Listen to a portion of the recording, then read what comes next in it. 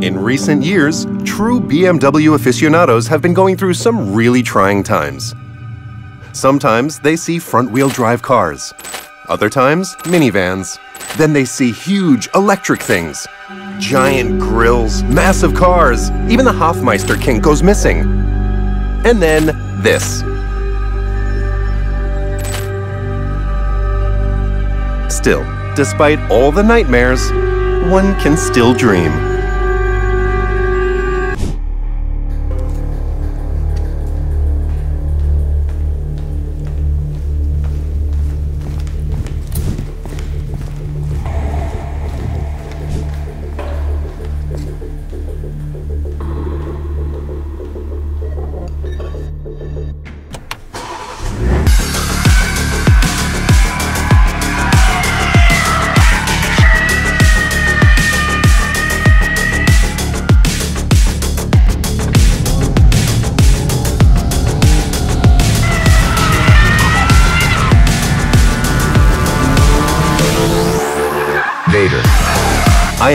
Garcia Alfonsin. This is Power Art, powered by Total Energies. And today we're going to have not one, but two goes at the new BMW 2 Series Coupe with the rear-wheel drive 220i and the wild M240i xDrive.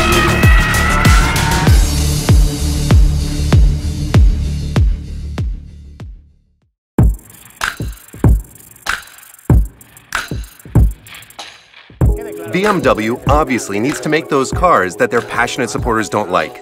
Creating that type of product allows them to access other areas of luxury that change the world we live in. Nowadays, lifestyle cars are interesting more buyers who prioritize aesthetic, comfort, and appearance over dynamic performance. That's why it makes sense that there are these cars that fervent BMW fans don't really care for. It's also a way to innovate and avoid coming to a standstill. When a brand stops moving forward and does the same old, same old, everyone zooms past them and things go sideways business wise. So, if BMW wants to keep selling 2 million cars worldwide every year, they have to get into other, previously untapped areas of the market. That's why things like the iX, the XM, the new 7, or the i4 make sense. But as we told you in the Z4 video, the company also promised us it would stay true to the brand's original DNA. And that is the creation of a three-box car with a longitudinal front mid-engine, passenger and driver here in the middle, the meaty bits in the middle, rear-wheel drive, a car that's distinctly sporty, but at the same time versatile enough to be used every day which is what BMW has basically been doing since its 9 Series, the 2002. The small 3 Series cars in the first generations applied to a current car. A real BMW, which we will look at later to see if it scores the maximum of 50 out of 50 for weight distribution. The new BMW 2 Series Coupe is all that and it's also a mission statement. BMW has moved its compact range to the front platform to create volume, where customers interested in this type of car don't ask for it, but at the same time, they made the wise decision to put a lot of money into having this car on its modular rear-wheel drive platform. A car that has a lot in common with BMW's own Z4 or the Toyota Supra and a car that is not just for marketing purposes or to meet enthusiasts' expectations. In its previous generations, this car was selling 35,000 cars a year in the European market. So, there really is an amount of demand that justifies the existence of the 2 Series rear-wheel drive coupe. Of course, if you compare it to the compact cars of the 1 Series in general, which has a sales rate of 100,000 cars a year, you might think it's small potatoes. At the same time, you have to look at the Alfa Romeo Giulia, which sells fewer than 10,000 cars a year in Europe, to realize that the 2 Series Coupe is doing really well. Despite all the fuss that has been made about the aesthetics of this car, I'm going to say that I like it. However, we do have to recognize that all BMW fans would probably like to see the rear drive 2 Series Coupe with different aesthetics. We would each have our own design and our own approach, but when you see this car firsthand, at least in my experience, you see that the front suits the rear. You see that it flows in general, and that it represents everything you expect from a BMW aiming to be modern, distancing itself from that neo-retro design that some might might have liked to see.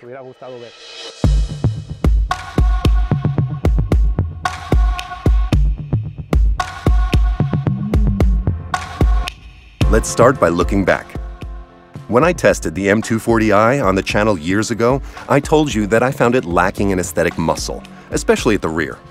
It could be a bit more aggressive, but only the M2 got that treatment. They perhaps overdid it with the elegance that covered up the sporty aura of the car for an onlooker like me, who's quite the badass, as you know. In fact, I distinctly remember telling you that it drove me crazy that to have the aesthetics of the M2, you had to go for the price of an M2. Well, here the approach has changed completely with a super wide product range that already includes an elegant option, with a huge 4 Series coupe that has shifted to the attitude and position of the 2 Series coupe passenger car from the last generation. The new car, whose external design was led by Jose Casas, was now able to take a lot more risks, be more aggressive, and become sportier. Casas and Company started with an ideal sketch of a completely retro design inspired by the 2002, with round headlamps and lights, a large front scoop, and two triangles on the sides. A beautiful concept, which we talked about months ago with Paul at the Posh Tape, flawed by the fact that it wasn't modern. And BMW doesn't want to make retro cars, it wants to make modern cars. So some ideas and inspirations were taken from the sketches, but the bulk of the car had to be different. BMW wanted to create a modern, technical car that was current. And they achieved this by introducing a lot of technical lines, a lot of body, wide sides, very elaborate surfaces. These aspects erase the elegance of the 2 Series Coupe of the previous generation, but it give it greater presence. And if you think about it, the 4 Series Coupe is for those who are looking for a smoother, more elegant, more traditional car. This one leads more towards the badass side. You can see it in even the color of the car itself, which suits me a lot, by the way. Special attention is paid to all the elements to create the feeling of a short, compact muscle car. This car is 4.5 meters long, so it's not as compact as BMW would like it to be, but Casas and Company have pulled out all the stops. First of all, they have created a repertoire of sentimental references. So, we have the muscular squared off sides inspired by the M3 E30. The main lights are single headlamps, which, according to their designer, are reminiscent of the look of the 2002, but at the same time are technical and contemporary, wrapping around with the signature lights for visibility. The mirrors on the M240i use a two-support design that calls back to those on the M3 E36. The bonnet is raised and has a bit of the E92 in it, while also serving to visually shorten the car from the side view. There's a Hofmeister kink, which was missing in the 4 Series, and tail lamps that are reminiscent of the 2 Series coupe of previous generations. Then there's an elongated main grille that extends towards the sides. The fact that the headlamps are drilled onto the front surface and tucked away frees up space for this slim, three-dimensionally framed grille which is also slanted to reflect the ground, reminiscent of BMW's shark nose of the 70s and 80s. The grille has slats that open and close for cooling, and underneath is a fully functional air intake framed in a V that was normally only used for M versions. But for some time, it has been used here on the M Sport, on cars with M finishings. It's been placed right here between these two fangs. Then we have functional triangular air intakes on the sides of this car. In a minute, when we look at the differences between the four-cylinder and the six-cylinder, we're going to see that on the other car, they're just for decoration. The side view is a work of art of lights, reflections, and tension lines. It all starts with a waistline, a line created by the shoulder that starts at the front headlamp, goes along the waist, slanting upwards, to then form part of the rear light, which we will see later on. This line is also drawn with a slight curvature that gives the car some life and reminds us a lot of cars that have used this style line, which actually wasn't present in the 3 or 4 series, but is used here. There's a second parallel line halfway up the body to reflect even more ground, to give a little bit more muscle here. Another thing they've done, which looks really great, is generate body for the front sides. If you look here, it generates a kind of triangle that launches and hugs the front tire. Then we have a super muscular rear wheel arch to give it some presence here as well.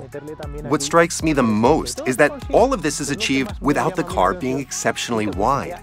When you look at it from above, you see that this part is more or less in line with this part, more or less in line with this part.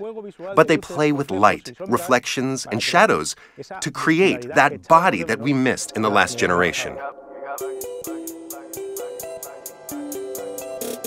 There's a small vertical line behind the front wheel arch for aerodynamic purposes, to cut the airflow, and a running board in a contrasting color.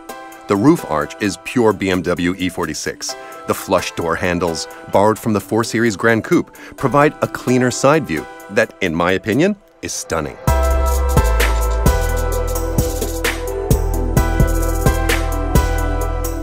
There's been a lot of controversy regarding the rear, but I don't get it. I suppose that looking at the catalog photos, the rear might seem a bit strange, a little low or something like that, but in real life, it doesn't give you that feeling at all. Everything starts here, progressing from what is the side shoulder to the rear. This creates this chamfer that we see here that also highlights the width of the rear wheel arch and makes the car look wide. Then a diagonal line cuts across the waistline that starts at the front, as you can see here, arriving here and creating this cut at the tail lamp. We also have a chamfer in this direction. Adding a chamfer like this plus a chamfer like this creates a very wide sharp at the rear and adds this line to the framework. And since the tail lamp goes all the way to the edge, that leaves this part, this separation that gives the car even more body, makes it feel even more like a car with wide sides, like for example, when you see an M2 from the previous generation. This whole framework runs along here, creating the ducktail on the traditional BMW rear boot, which is always higher than the front bonnet. Then, as I said, the headlamps. The tail lamps are superbly crafted in three dimensions. We have this vertical cut to make the car as wide as possible. We have the shoulder line that goes over the tail lamp. We have that continuity that I just mentioned going down here. Then we have this horizontal line, which opens the space for the number plate. There's another curious element inside the tail lamps, and it is that Jose Casas, like we saw at the beginning of this aesthetic section, in those sketches had thought of using round tail lamps as a nod to the 2002 Ti. Since he couldn't do them because, as I said before, they're not going to make neo-retro designs, what he has done is create here a polygon inside, which is the brake light framed by this tail lamp in 3D. This reminds us of that round tail lamp that is so cool and sporty too. The bumper is huge and has retro reflectors positioned vertically on the sides to give the car even more presence and width. There's an integrated diffuser housing the framework for the exhaust tailpipe. These are polygonal on the M240i and round on the 220i. I'm not here to tell you if you like the car or not. Beauty is in the eye of the beholder, and tastes are very personal. But I have to say that I think it provides exactly what BMW is looking for by using all those references to past cars of the brand including the purple color taken from the E36, to create a car that stands out, has presence, and that will certainly help its sales.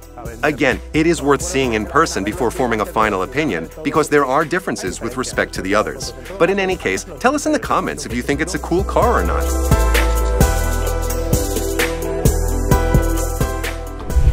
Inside, the car has large front seats. It has the same dashboard as the 4 Series, so you can imagine that the width is that of a 4 Series. That's normal because a lot of this modular platform is taken from that 4 Series, which is a much bigger car. You've got plenty of room for everything. A quasi-perfect driving position, the M steering wheel, which I still think is too thick, levers fixed behind the steering wheel, very ergonomic like the 4 Series, climate control with physical buttons as always, the volume is a physical button, the super wonderful iDrive controller to control the infotainment system. In addition to being a touchscreen, this screen can connect with Android and everything else. The only thing about this car that hasn't won me over is the fact that the instrument panel doesn't have the graphics you would expect in an M because it's not an M2, which is a big rev counter in the middle. The gauges are weird. If you have the rev counter on the outside, the speedometer too, that makes controlling the revs not the most intuitive thing in the world. The gear engaged is displayed very tiny down here on the right, and although it has a data projector on top, and that does have a rev counter like a race car, and it helps. When you're driving fast, when you're in sports car mode, your focal point is so far in the distance, so focused on the horizon, you look so far away that you just don't see the heads-up display. You don't see it, you can't make it out. Differences between this car, which is the M240, and the 220i. Finishes, materials, fittings, it's all identical, but the seats here are M seats, which are the same as we saw, for example, in the 4 Series, in the 3 Series, and they were made with great attention to detail. The 220i seats are a little more slippery, they have a separate headrest and lack that sporty flair. I definitely like these seats better, but enough to pay over 20,000 euros more for just this car's seats? No, the difference is in the power. This car is still practical. It has two adult seats behind the front seats, with decent space lengthwise and across, although a little limited in terms of height. If you're going to use these seats often, you'll want to buy a 4 Series Coupe.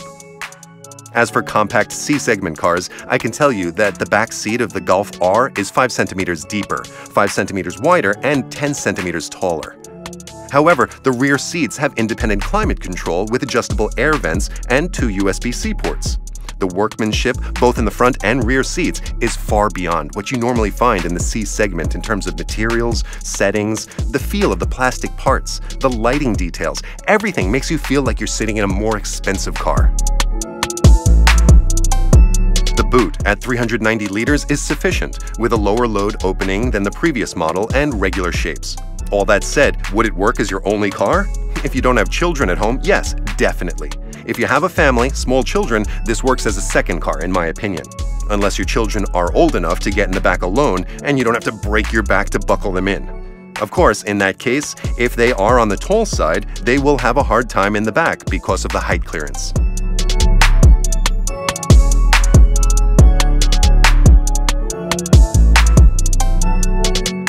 The 2 Series Coupe is built on the CLAR platform, which is BMW's modular platform for assembling rear-wheel drive and all-wheel drive cars. It's the same platform used in the 3 Series, in the i4, in the 4 Series Gran Coupe, in the 5 Series. They play with these components, with these Lego pieces, to create different models.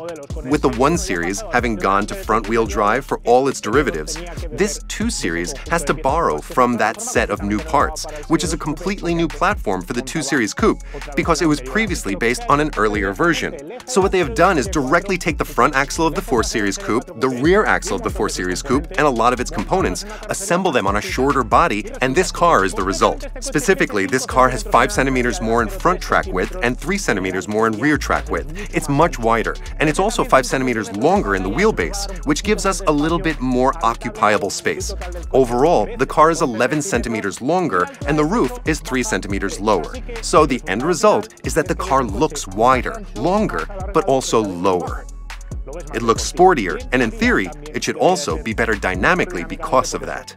Torsional rigidity is 12% greater. This also translates into an increase in weight, but more torsional rigidity allows you to release more springs and shock absorbers, play better with the suspension, and more precision without twisting the body. In particular, the weight of this 220i, which is the version we can compare, because before not all versions of the M240 came with all-wheel drive, blah, blah, blah, the weight has increased compared to the previous version by 80 kilos. 80 kilos is quite a lot, but if we take into account that it's 11 centimeters centimeters bigger, well, that's normal. It's a heavy car. We'll see how its kilos are distributed, but the homologation weight is around 1,565 kilos for 185 horsepower, 184 to be exact. It's not the eighth world wonder, given the trend that we're seeing right now of heavy cars. What are you going to do? More specifics that we want to see. We're going to look at the suspension now, which is what's cool. In terms of suspension, all these elements, let me just leave the script over here. We've seen all these elements previously in the 4 Series, in the 3 Series, and everything else. That is, we have a MacPherson strut like every BMW rear-wheel drive car ever, a forged aluminum strut axle, arms, two arms broken down to form a lower triangle, also made of forged aluminium. If you look at the diagonal, it's what bears the longitudinal movements. That's why it has a pretty big bushing there, which is also filled with hydraulic fluid to make a more comfortable car. The transverse has a bushing that is much smaller in diameter because it's much stiffer. It's less flexible, so the car moves more precisely. On top of that is the suspension strut, in this case passive damping for this 220i, with different shock absorber settings depending on the wheel position. When it's in the middle, it has a soft ride. When it's compressed or extended to the extreme, it becomes harder because it has a kind of hydraulic buffer, let's say. We already talked about it in the 4 Series Coupe. This makes for a more comfortable car while also giving body movement control. However, its performance is also a bit peculiar. We'll discuss later when we're driving how the wheel falls fast to enter the corner and then stays like that, which is cool. In this particular unit, we have brakes with the M Sport version, which are four-piston calipers on a floating disc that's smaller in diameter than the one we're going to see later in the M240. Rims are also optional. Here, Pirelli P Zero tires have been used. I'm not really sold on how they ride. These tires don't have the best grip. Later we'll see that the other car is a bit off in this sense. If we go to the rear suspension, we have a multi-link system, five arms, all of which are made of stamped steel plate. We see over here, one, two, three, and at the rear we have this mega arm, also made of stamped steel plate, and this fifth element. We have a plate that aerodynamically covers this rear part. The stub axle is made of forged aluminium. And then we have a conventional differential hanging from the metal structure that makes up the rear subframe. How does the M240 differ from this car? Well, we're going to see right now. For a start, we obviously have two more cylinders. We have more kilos. Later, we'll see that this car is clearly heavier. The fact that it has two more cylinders up front is going to make the nose heavier as well. But in terms of suspension, you can see that it is identical with only two exceptions. On the one hand, we have a drive shaft because this is an all-wheel drive car. On the other hand, we have a cable in the shock absorber, and it has a cable because it is a variable pitch shock absorber. Here, we don't have that shock absorber that is more or less rigid depending on the position. Instead, this shock absorber has an active valve that changes the shock absorber setting depending on the movement of the wheel or the driving program that we're using. On this car, the four-piston caliper is over there. It looks bigger than the other car. To me, they look the same on the outside. Maybe I'm wrong. We have a disc, which is yes, this one is clearly bigger, steel disc, aluminum drum, and Pilot Sport 4S tires. They perform great. They're tires that I like a lot because they grip well on dry terrain. They grip well on wet terrain. They're relatively quiet, and above all, they're very consistent. They work very well when cold, when hot, when you still have a lot of rubber, and when the tire is in the last 10% of its life. This is nice because it makes the tire more predictable. What else? Well, back here you have the same five-element suspension that we saw at the front, but we have an M Sport differential with electronic locking. What this does is it closes some friction discs that it has inside, and what it's going to do is give the car that rear differential lock that we're looking for, but controlled electronically, so it can decide how much lock you have at any given moment. The other big difference compared to the other car, compared to the 220i, is that this car is all-wheel drive. It's all-wheel drive, or rather, it's rear-wheel drive with a front axle that can be engaged. It engages through that transmission shaft that you see there, which engages through a clutch that's tucked inside this housing. Normally, the car sends all the torque to the rear axle, so it's rear-wheel drive. But when you lose drive in the rear, it locks up this little clutch in here, and as it's squeezed, it sends more torque to the front wheels, so the car is able to pull from the front and go. We'll talk about this performance when we're driving, but to me, it's very reminiscent of the Nissan GTR when you're drifting, and then it starts to drive forward in a kind of odd way.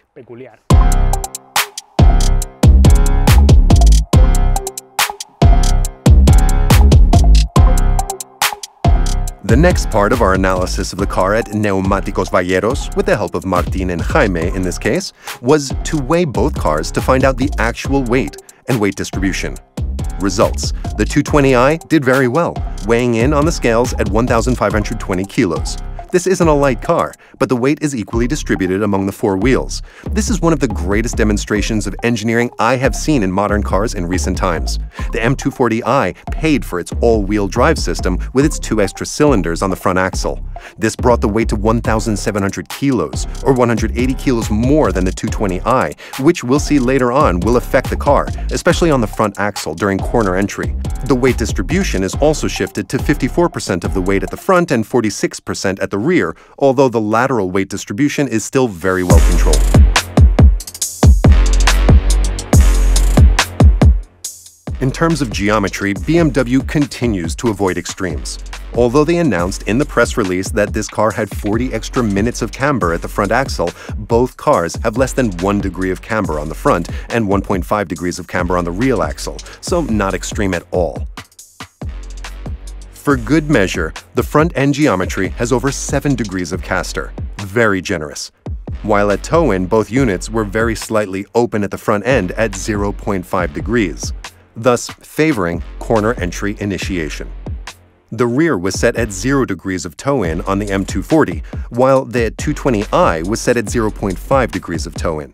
To make sense of these numbers, to explain them, I'll say that to solve what I'm going to tell you about the dynamics of the car, you would have to get a little more aggressive with it. Get aggressive with the front end with a little more camber. Give the front axle a little more toe in. But the price of doing that would be destroying your tires faster and making the car more skittish at high speeds. These aspects seem incompatible with BMW's idea of making this type of large passenger car.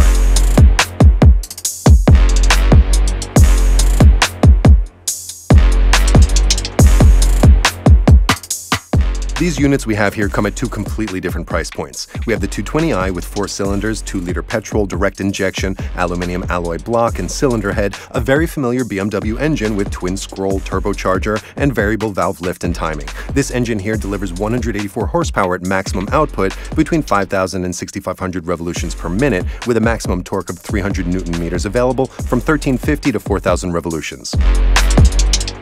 The M240i is no joke. We have here a 3-liter all-aluminium twin-scroll turbocharged inline six-cylinder engine, block closed at the top around the raised cylinder liner, and variable valve timing, liquid-to-air intake heat exchanger, the same heart we saw in the 340 we tested some time ago on the channel.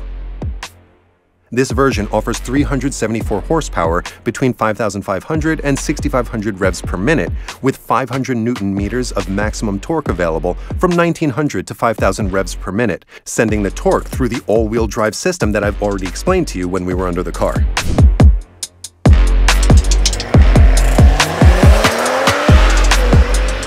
The M240 is fast, very fast against the clock. We managed to do the 60 to 100 in 1.9 seconds and the 80 to 120 in 2.6 seconds. To put it in perspective, it is faster than the first 370 horsepower M2. And compared to the competition we tested in the mega comparison three years ago here at Power Art, it is 0.3 seconds slower in the 80 to 120, although in the 60 to 100 it practically ties. From a standstill, it does 0 to 60 in 4 seconds flat, which is 0.3 seconds quicker than the M2 competition we tested. It uses its all-wheel drive to achieve this. The mileage from a standing start is promised to be 22.5 seconds, but we could not confirm this number.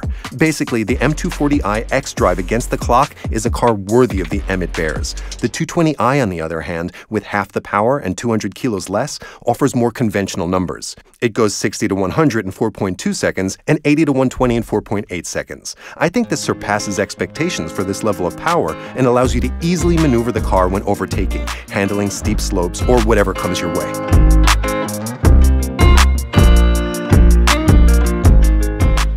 This car, the 2 Series Coupe, was born to be the ultimate expression of what a traditional BMW sports car should be, what we all have in mind when we think of a BMW. And to achieve that, it has to be more than a machine you enjoy driving. It can't just be a car that says, you want to take me for a spin? It also has to be a bit versatile, be all-purpose for any time, in any circumstances, on any kind of road. And BMW has nailed it. Compared to the previous generation, this car is quiet, more comfortable, has a better interior setup with a better sound system and improved suspension.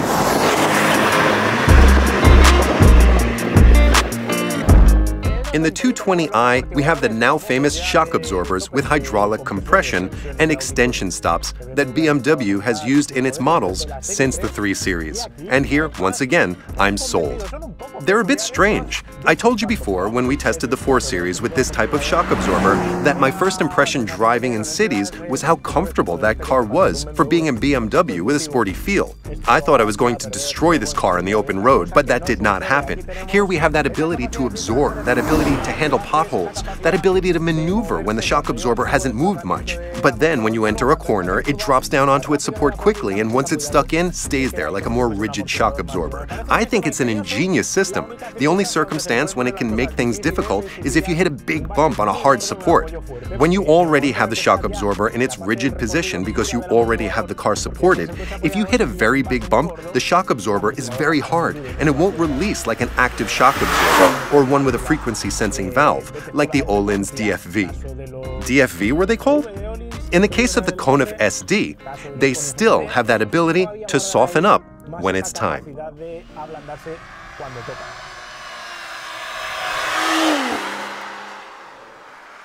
The excess anti-dive in the previous two series is gone, so the car is more predictable on curvy roads when you turn. The change in the front end geometry also helps with this, as it's a bit more aggressive with 40 extra minutes of camber. But you've already seen that even so, the resulting camber is not excessive, and I would say it even falls short, but in any case, it's more direct, more immediate from the front end.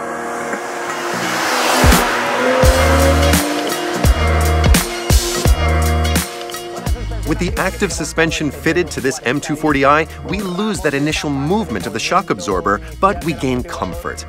Thanks to the use of its piloted shock absorbers, the car is comfortable in comfort mode, and then when you put it in sport mode, it's sportier than what you get with other shock absorbers. I have to say that it always feels a bit more grounded, but also because you're more limited in your movements, it's harder to sense what the car is doing. In other words, because other shock absorbers have that initial movement until they find their support, which is very quick, they allow you to feel that support and allow you to have a better sense of what the car's doing. On the other hand, when you put active shock absorbers in comfort mode, they face springs and stabilizers that are relatively rigid, and that means that you lack a little bit of control when rebounding while extended, which in some types of expansion games makes the car try a second time to rebound in extension when you hit some very special bumps. These are very subtle details, and I've been able to notice them basically because I have both cars at the same time. I've been able to ride one right after the other. The question we could ask ourselves might be, is the active suspension worth it? The answer is probably no, because the standard shock absorbers are very good for that combination of sportiness, performance, and comfort. Is this active suspension a little bit better? Probably, but I don't know if it's worth it. Well, I don't think it's worth the extra, really, unless you're going to go to the track. There, you can take advantage of that sportier, more sport plus tuning, and you can get better tire grip by making the car stiff as a board.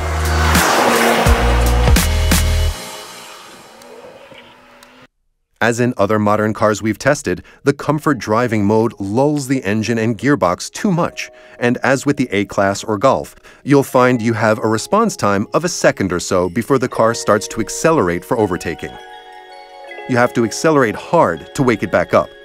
So getting out behind a car to overtake requires you to go all the way to the kickdown on the accelerator to wake up the machine inside the car. I know this is done to lower fuel consumption and for a relaxed driving experience, but it can be unnerving and you end up setting an individual mode just to avoid this. The driver assistance systems are great. They let you relax when you're driving because they help you maintain your speed and everything else, so very good for that. We didn't get the automatic lane centering system on either of the two cars, but it would also come in handy when it comes to long journeys on motorways, which are a marvelous experience in this car. We took it on a five-hour trip in one go, and it was a piece of cake. The infotainment system now also has the integrated wireless Android system. Everything is then projected onto the instrument panel, on the data projector, which has wonderful resolution and is a good size. It all adds up to a very pleasant environment for long journeys. The optional Harman Kardon sound system in the two units we borrowed is also fantastic. And then we have to talk about consumption, as far as this type of use is concerned. With the M240, you can get around 8.5 liters per 100 kilometers at a good pace on the motorway and highway. You can save 2 liters per 100 with the 220i's four-cylinder. The 230i is probably around the same fuel consumption figures as the 220i. So, if you can afford to spend the 2 euros, more than 2 euros, the almost 4 euros more per 100 kilometers that this car is going to cost you compared to the four-cylinder, you have to think about it. If you can afford it, the good thing is that you have the six-cylinder, which sounds better than the four-cylinder engine, but you have to remember that this is cumulative economic damage. In any case, in either car, considering the features they have and their amazing engine, especially the M240, I find it amazing that they get this fuel consumption. We're used to BMW making wonderful engines. It's a pity that we're going to have to say goodbye to these petrol engines in Europe. Música The sound level in both units, despite the different tires, which in theory should be worse for the M240i, is a tie at 67 decibels. This is a very good number, especially when compared to the noise made by a Mercedes-Benz A-Class or CLA or a Golf. But at this point, what you're probably wondering is whether this car drifts. Can it be driven sideways? Is it a real BMW and all that? We can't do that. We can't show that on the open road. So once again, we have gone to A Pastoriza in Lugo to the PTC learning track to see what this thing can do, both the M240 and the 220i. Let's get to it.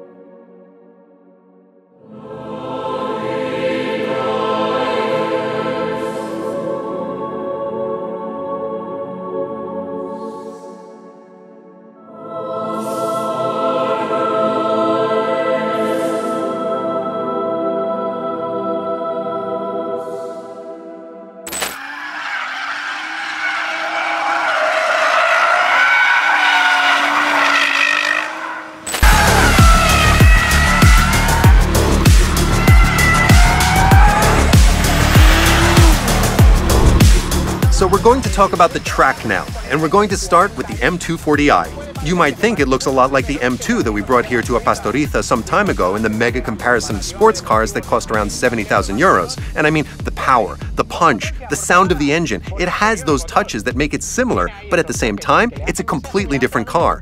I'm going to start by talking about the car with the stability controls on. Let's turn them on, in fact. With the stability controls on, it's a super easy car to drive fast. And it corrects a lot. So it's going to stop anything from happening to you, no matter how much speed. Pedal to the metal, here coming out of the corners supported, it's not going to want to skid. All it's going to do is push when the steering wheel is neutral and the car is stable. You're also going to feel the support of an all-wheel drive, the support when it comes to getting the horsepower down, the 300-odd horsepower, 370. This power ends up finding its way out through all four wheels, and that makes for a lot of forward momentum. What are the downsides to the car in this type of driving? Basically, the first example I'm going to give is the gearbox system. It's very quick to engage gears like a dual clutch when engaging, but in downshifts, its speed and response are a bit lacking when making a downshift. Here I go. Braking very hard. I brake, and it's not the same as taking off in a dual clutch like in the M2. It's difficult, and there's a small delay.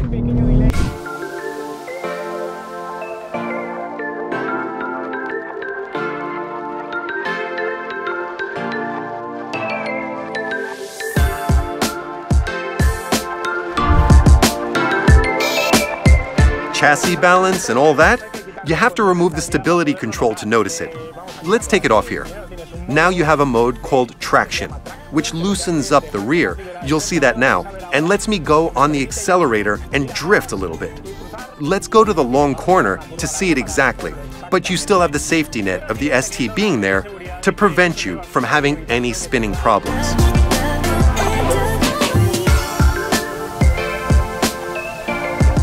See? Look, I can drift here.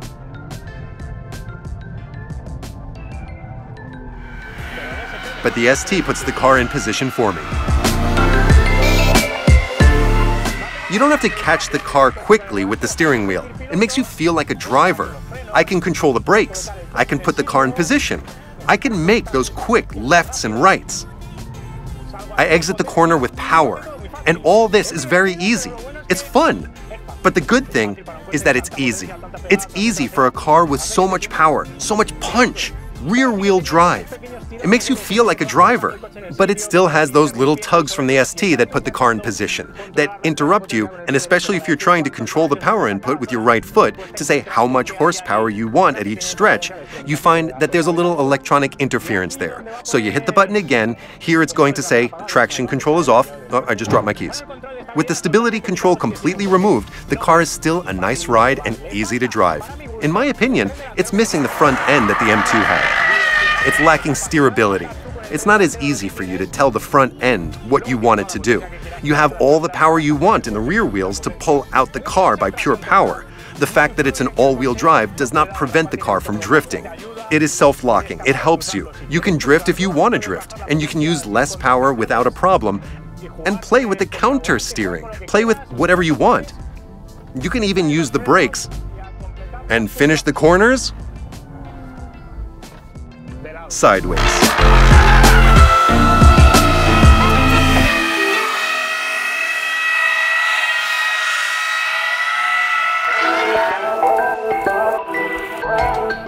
But you always have that little bit of interference from the power to the front wheels, which means that when you're really sliding the back end, when the car is very sideways, they start to send torque and you start to drive a little bit like the Nissan GTR. You start to drive from the front as well, and that makes the car go sideways, but at the same time, it goes forward, and that makes you lose a little bit of control of where you're headed. You could say that you run into a little more interference when it comes to steering.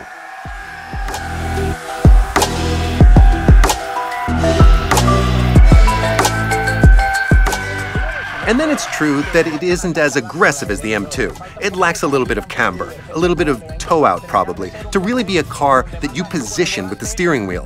That means that when you go sideways, you don't have the same precision with the line, with the front end that we had with the M2, for example.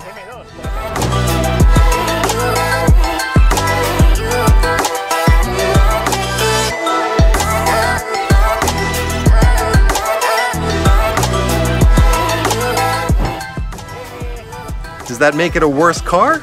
No. What it does is make us even more eager to see the M2 because the platform of this car is insane. Because although I'm talking about these complaints, I have to tell you that the car is amazing. The six cylinders is marvelous, it sounds beautiful.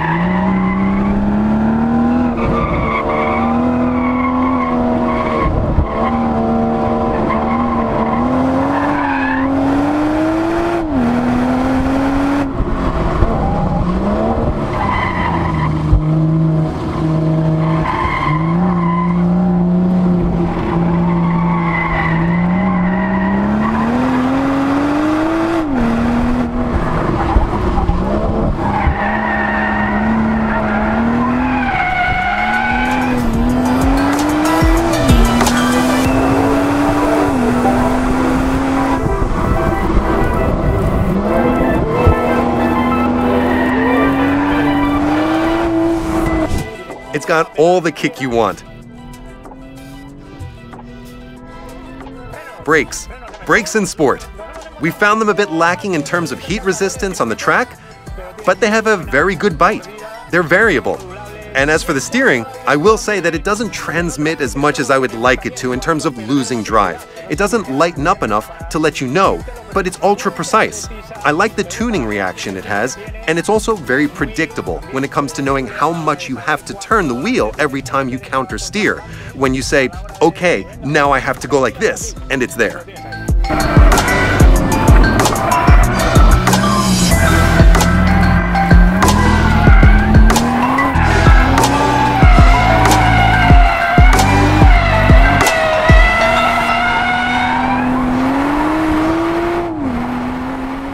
Conclusion, power skidding when exiting a corner is easy. Going sideways all the time, from corner entry to corner exit with this xDrive system, it's a lot more work on your part at the wheel, and it also requires you to get the hang of the car because it demands to be driven in a certain way. I can understand why the Pure M's have opted for a button to disengage the front axle drive when you're trying to do this.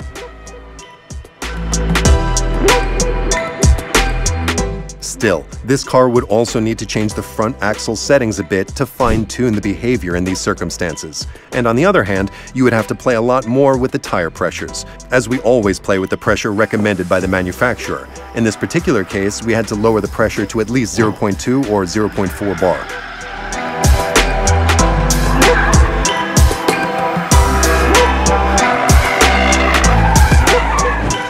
I'm sure the M will fix the few mistakes I see in track driving. But the matter I'm going to address now is, on the track, maybe the 220i is a better option, because here you notice the kilos. I have to tell you that as well, because ultimately, the front end, all this that I'm telling you, that I miss the ability to send the car just where I want it to go, also has to do with the kilos that you have hanging over the front axle, the six cylinder that's hanging over the front axle. The extra 200 kilos means that you have that extra inertia that makes the car want to open up in the corners. You have a little bit more inertia with more kilos. In the end, no matter how much you hide the kilos, and no matter how well the car drives, and the car drives really well, you can't make that weight disappear. And I assume that I could get more out of the four cylinder in that sense, with less weight, with only the rear wheel drive system. Now, we're going to test that hypothesis by changing this car for the 220i.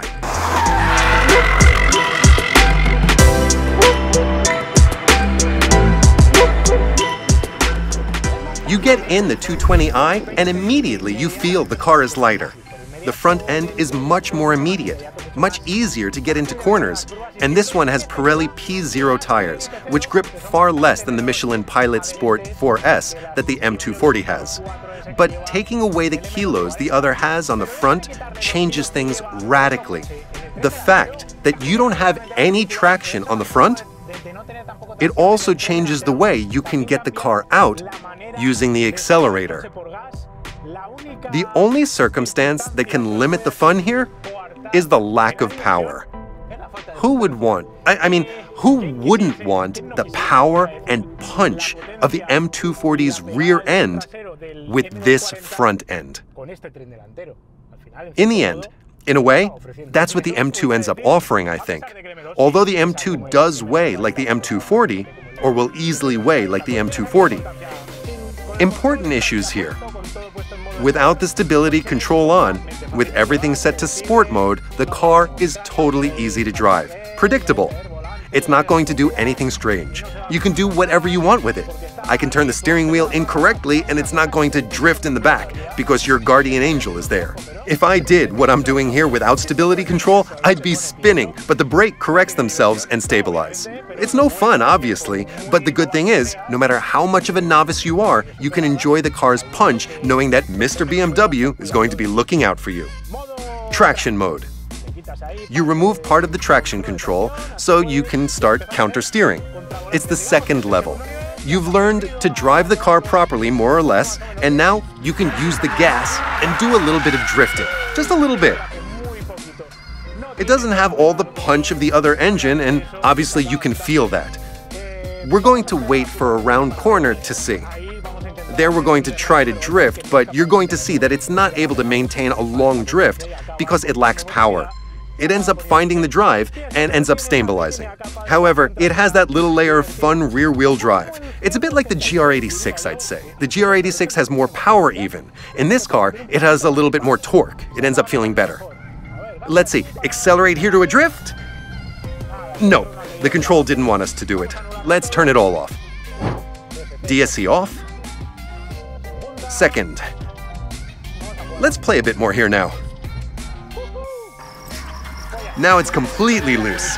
You can play here with inertia entering the corner. You hit the accelerator and go sideways a little bit. It's fun. It's agile.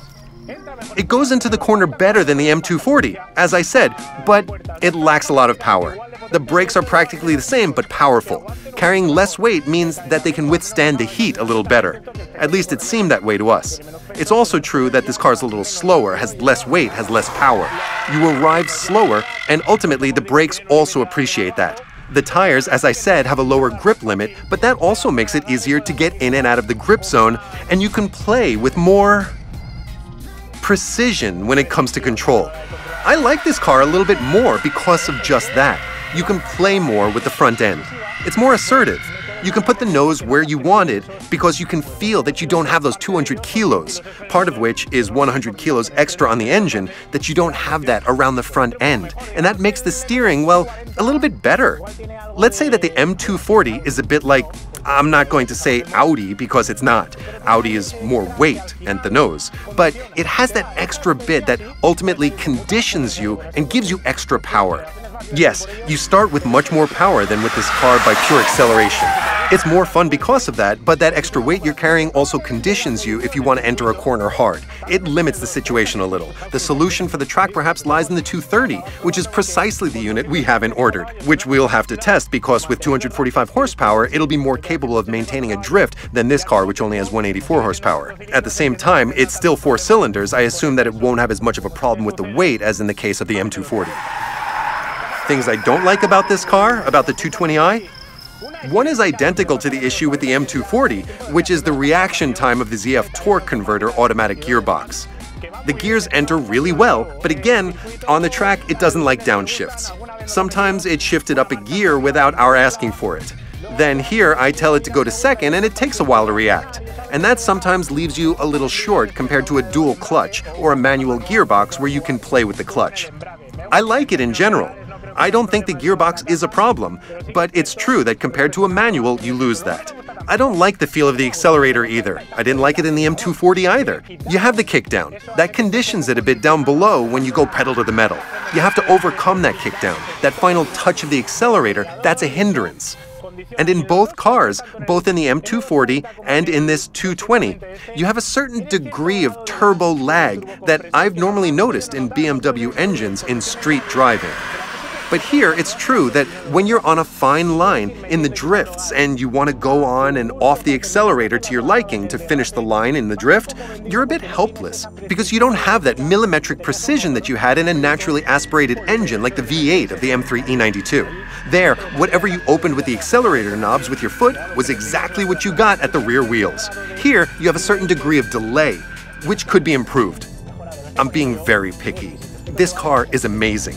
What do you want me to say?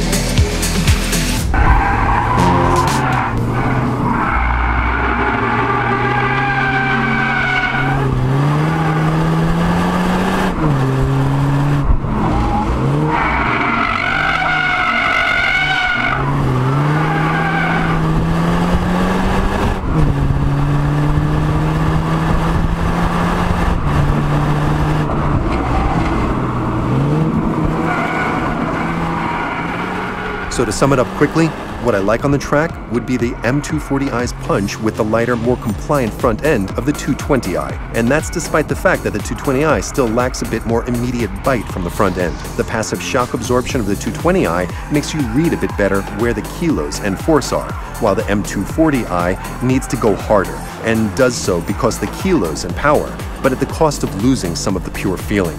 As I said a moment ago, I am now interested in trying the 230i, which has the weight of the 220i and a bit more punch without all-wheel drive. But what I'm really looking forward to is trying the M2, where BMW has already shown in the past that it knows how to give it all for the car to have a more immediate turn on the front axle and make the accelerator more instantaneous.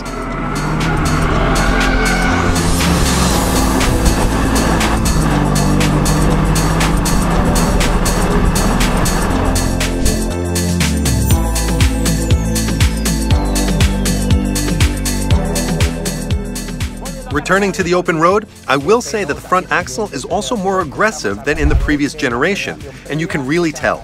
It's a car that's more eager to go into corners without being a Ford-style car. It still doesn't have as nice a front end as I would like. I'll just straight up say that I would like a car with the front end of the last generation M2. But BMW, for some reason, always keeps that immediacy when going for the turns. And these cars hold back a bit so that they don't enter the corner so urgently when you turn the steering wheel. There must be a reason for that, I guess.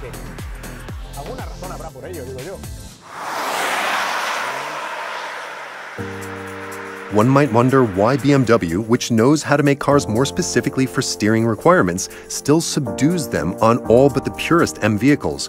But perhaps this has to do with the target customer profile, with the idea of calming the car, especially for use on long motorway stretches at very high speed, where you may find yourself needing to dodge. It's in those fast, high-speed changes of direction, typical on German autobahns when there's a car in your way, that you need to have a car that's direct in the front, but at the same time is calm, so that it doesn't get too bold on its own. Or maybe BMW simply doesn't want to make driving the car that complicated for you unless it's a run-of-the-mill M.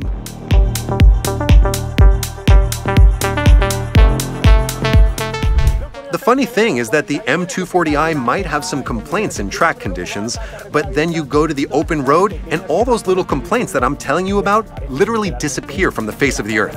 Here, you're not going to get the full power, the full lateral grip available, and the fact that you have this six-cylinder sound, this thrust, and the feel they've achieved with this car really make it a machine you really enjoy driving on a curvy road despite its extra kilos. Here, I don't care so much about the front end. I don't rely so heavily on the front end that I need to hang the car on corner entry, and that means you get to enjoy the car in a different way. Here, you get better marks for dynamic handling and fun on the open road than you might get on the track. Whereas the M2 is probably the answer to finding that ultimate score. But if you're spending more time on winding, curvy roads and all that, you don't have to go for the M2 if the M240 is enough for you. Without a shadow of a doubt, it's actually more fun than the previous generation in this kind of circumstances.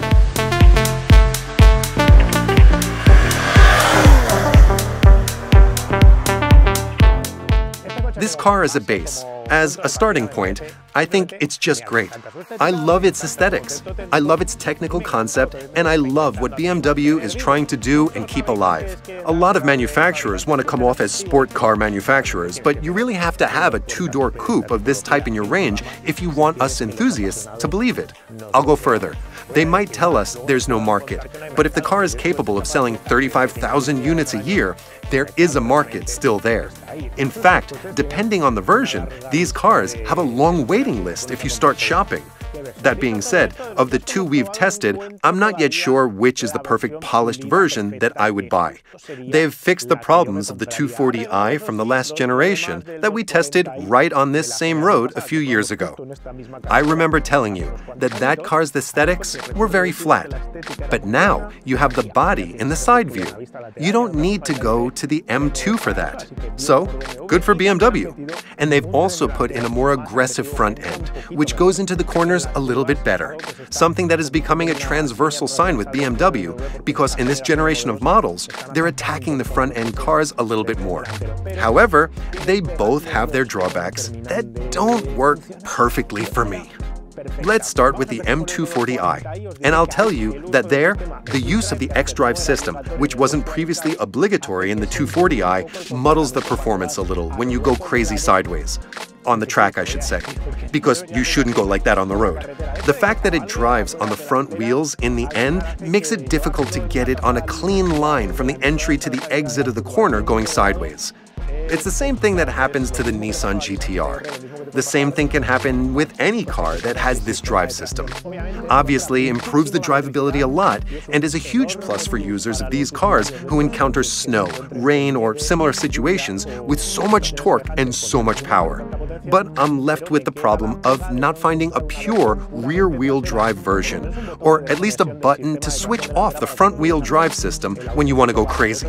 However, if you're not going to do that and you're going to drive at 80 to 90 or even 100% of the grip limit, but on public roads, in those conditions, I don't think you're going to have that much of a problem. The other drawbacks I've found have to do with something the two cars share. I would like them to have more front end bite, if anything, a little bit more camber, a change in the ratio of front to rear anti-roll bar spring rate, because it's still not dominated by the front end. It still shows a little bit more understeer than I would like. It still doesn't have the front end, basically, of a Giulia, or I would even say the current 4 Series series still bites a little bit better than this car. The feel of the accelerator is sometimes a bit faint, and sometimes a bit disconnected from exactly what you'd want when you're not driving in the sportiest of modes. Even in those circumstances, when you're on and off the accelerator to modulate the rear end, the drift you get, it doesn't go quite as smoothly as the cars did when they were naturally aspirated. Maybe that's just impossible to recover, at least until we go to electric engines. As for the 220i, the complaint is a bit of a platitude that it lacks the punch to round off the exit of corners. I liked it because it weighs 200 kilos more. The weight is better distributed and you can flow more and better on corner entry than in the M240, but I'm missing the final punch, the final kick to be able, once you've displaced it on entry, to exit with power and round the corner. Maybe the key solution would be to buy the 230i, which is precisely the version we haven't ordered, and at this rate, we'll have to try it. So that's what I'm thinking. Maybe the 230i and the M2, which won't have the xDrive system, as far as I know, will at least be able to disconnect the whole thing. Maybe they are the two key parts in this 2 Series rear-wheel drive coupe. These two cars are not exactly cheap in our market. The 220i costs 43,150 euros, while the M240i goes for 70,000, 69,900 euros to be exact. The 230i comes in at 46,650 euros. If you look at the market, the 128 Ti, also from BMW with front-wheel drive, cost 46,550 euros. I mean, it's the same as the 230i rear-wheel drive, and here there's no comparison.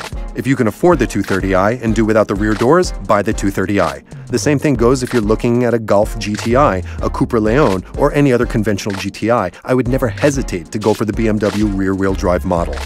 A Mercedes-Benz CLA 35 AMG is around 70,000 euros and does not come close to the driving experience you get with the M240i. It's a hell of a thing that I'm basically recommending the 230i, which is precisely the 2 Series coupe that we haven't tested.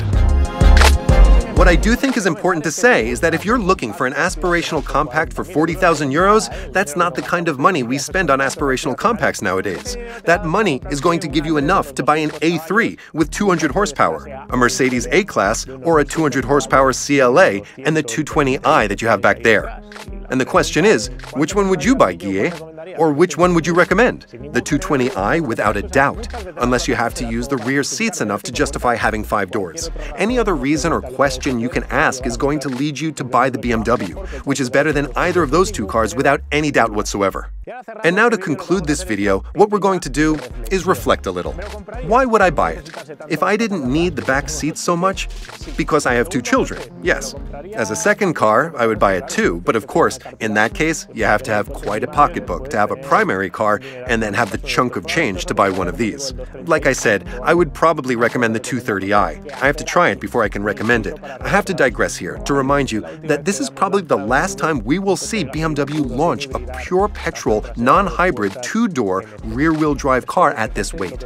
After this car, what we're going to see are electric cars, and we will have to see if they're capable of copying this wild, fun, and enjoyable performance, which is nearing extinction more and more each day in the car market. For all of you who asked me if you should buy a new 2 Series rather than a used car from the last generation, all the new versions of this car are clearly better than the previous ones. In the rear-wheel drive basics, it is definitely better, because the front end has been improved. In the main versions, 240 versus 240, the pity is that you have to buy this one with the xDrive. But in spite of that, I like the car more not just for aesthetics, the quietness, the drive, the comfort, but for the mere fact that it enters corners better. And to those of you who have asked me if this car, the M240, is better than the original M2, the one with 370 horsepower before the competition and everything else, no way. The M2 is better. It's as simple as that. It's better because the front end is better, and you have a better command of what the car is doing on its four wheels than in this M240. We're now looking forward to testing the new M2, which I imagine will be out before the end of the year. So maybe next year we can take it to a Pastoriza. And as I told you earlier, we'll probably end up testing a 230i. I don't know if it'll be in comparison with another car to ultimately decide if that's the 2 Series Coupe with rear-wheel drive to buy right now. To wrap up, this is everything we wanted to tell you about these cars, and there was quite a bit of information. If you have any questions about the rear-wheel drive coupe series, leave it in the comments. If you liked the video, please give us a like. If you have something to say about the aesthetic of the cars, we would also love to read that debate in the comments. We'll be back soon with another video on another car. Bye!